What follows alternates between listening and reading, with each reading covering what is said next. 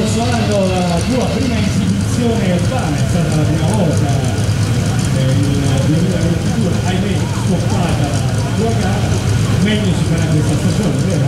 La prima gara del 2023.